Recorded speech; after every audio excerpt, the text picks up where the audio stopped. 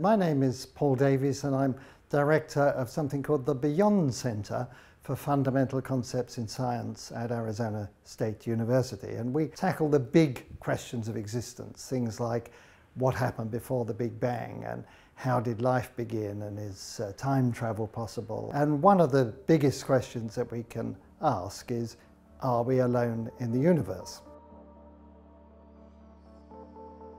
During my career, the opinion on that has swung back and forth.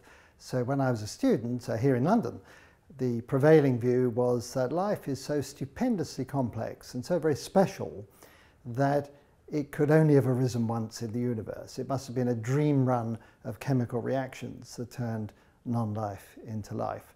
Uh, this is uh, so improbable that even given the vastness of the universe out there, the chances of it happening again somewhere else were infinitesimal. But now, uh, today, it's fashionable to say that the universe is teeming with life. And the curious thing is that we have no evidence one way or the other. And so the search for life beyond Earth really divides into two extremes. One of these is just looking for microbes, for example, on Mars or somewhere else in the solar system, uh, or looking for maybe trace gases in the atmospheres of extrasolar planets that might be telltale signs of biological activity. And then at the other end of the spectrum is the search for extraterrestrial intelligence, uh, and that is based on the idea that if life gets going, uh, then there's at least a chance that some sort of advanced life will appear, a technological society, and that they may be out there trying to communicate with each other and communicate with us. And a good way of doing that is with radio, so for about 60 years, a heroic band of radio astronomers has been sweeping the skies with radio telescopes, hoping to just stumble across a, message from some extraterrestrial civilization. And I've been a strong supporter of that effort, but I'm extremely skeptical that it's going to work. Part of the problem is that if there's a civilization, say a thousand light years over there, they'll see Earth as it was a, a thousand years ago.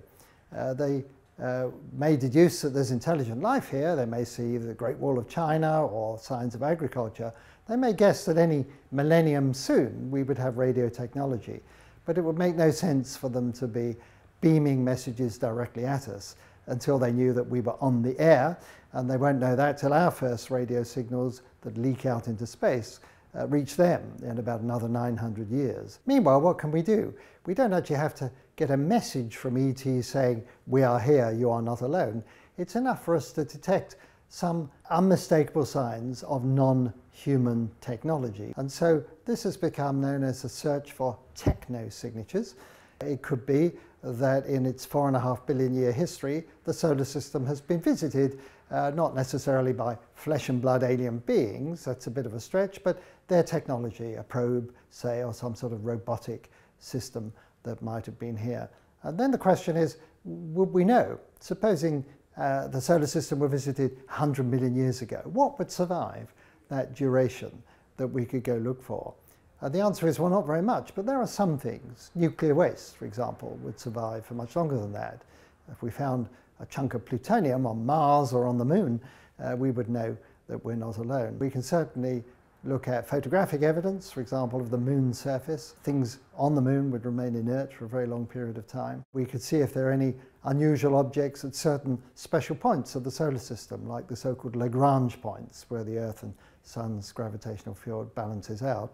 Uh, and then there are curious objects which the astronomical community has dubbed lurkers. These are small asteroids which are lurking by the Earth in the sense that they share Earth's orbit around the Sun, and so they're keeping pace with us as we orbit the Sun. The question of whether or not we're alone in the universe is a really profound one that I'm deeply interested in, because if it turns out that uh, the emergence of not just life, but intelligence, uh, thinking beings who can come to understand the universe and make technology, uh, then this shows that there is a sort of inbuilt scheme of things that the universe has not only engineered its own observation, but it's engineered its own comprehension. Uh, and that's a very profound thought. Uh, that means that we would live in a universe that we could truly call our home. And if you want to know more about this fascinating topic, then do buy my latest book, What's Eating the Universe? It's all about life, the universe, and everything.